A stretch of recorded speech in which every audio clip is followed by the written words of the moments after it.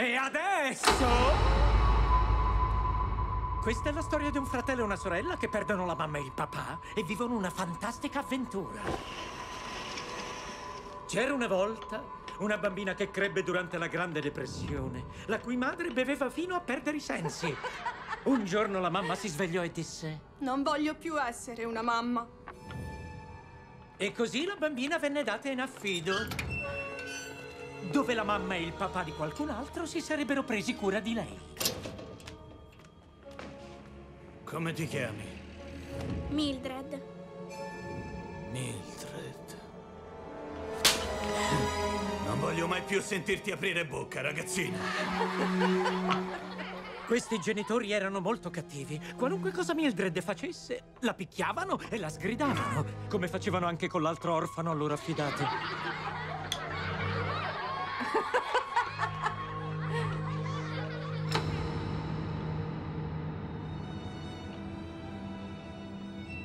Come ti chiami? Edmund. Ciao Edmund. Ciao Mildred. Non si parla. Tranquilla. No, no, no! Il bambino e la bambina erano molto tristi, finché un giorno non conobbero la loro fata madrina.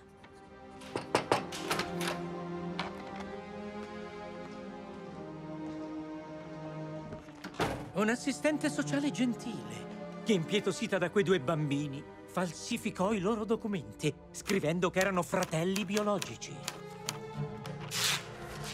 Così che nessuno li avrebbe mai separati e l'uno avrebbe sempre avuto l'altra. Disse... Siate bravi bambini. Prendetevi cura l'uno dell'altra. Ma ogni famiglia da cui furono mandati era peggiore della precedente.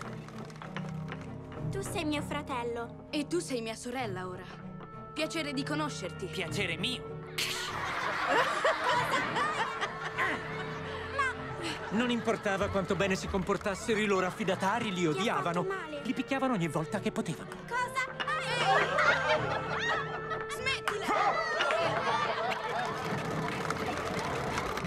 Sembrava quasi che li accogliessero solo per ricevere il sussidio governativo. Cosa? No! Basta!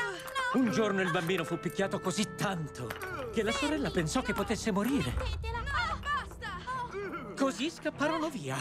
Tornarono dall'assistente sociale la supplicarono di trovare due genitori che li amassero e che si prendessero cura di loro. Beh, la gentile assistente sociale provò di nuovo pena per loro e gli diede ottime notizie. Avrebbe trovato per loro una famiglia definitiva. Una mamma e un papà ricchi che vivevano in una casa grande come un castello. Mildred ed Edmund erano al settimo cielo, non vedevano l'ora di conoscere la nuova mamma e il nuovo papà.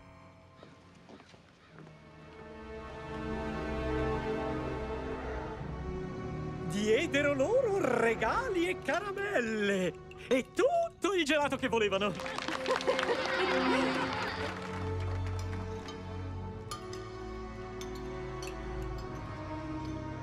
Più tardi mostrarono ai due bambini la cosa più bella di tutte. Giù nel seminterrato c'era un teatro dei burattini, dove il bambino e la bambina potevano giocare finché volevano. Dopo un po' si resero conto che il teatro non era per i burattini. Erano loro che dovevano esibirsi. La loro mamma e il loro papà definitivi mettevano annunci riservati sui giornali usando un codice speciale. Salve, vorrei pubblicare un annuncio. Bimbi belli, ogni mercoledì alle 8 di sera, 565 di E i pervertiti Lane. di ogni dove pagavano molti soldi per guardarli compiere atti contro natura uno sull'altra.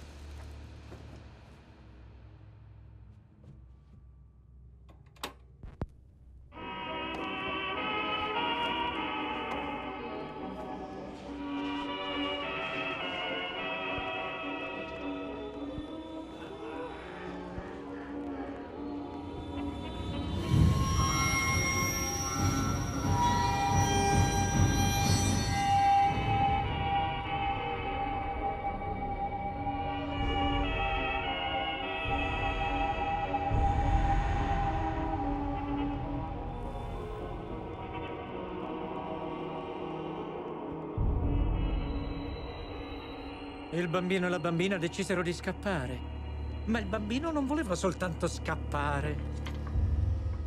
Devono pagare per quello che hanno fatto. La sorella lo supplicò di non farlo. Disse che dovevano scappare finché potevano. No, vieni con me. Ma il bambino disse: No. E così, mentre la coppia dormiva, lui prese un paio di forbici affilate come un rasoio e cavò entrambi gli occhi.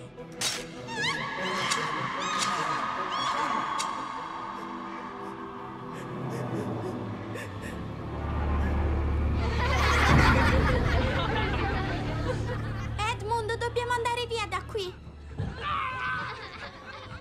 Edmund, ti prego, dobbiamo andarcene via subito. Non voglio lasciarti.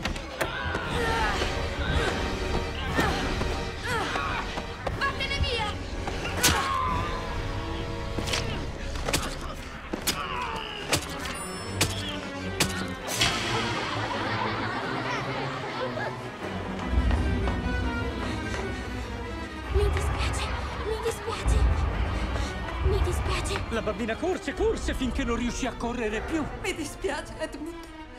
Mi dispiace. Alla fine si sedette sotto un albero e pianse. Ti ho detto che non ti avrei mai lasciato, ma l'ho fatto. Ti ho lasciato. Ti prego, perdonami, Edmund. Prometto che un giorno ti troverò. Te lo prometto.